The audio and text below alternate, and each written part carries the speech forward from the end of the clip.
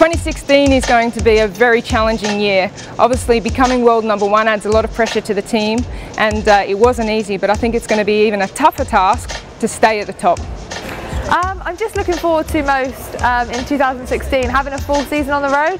I've never had a full race season so I can't wait to get stuck in um, and do as much racing as I can.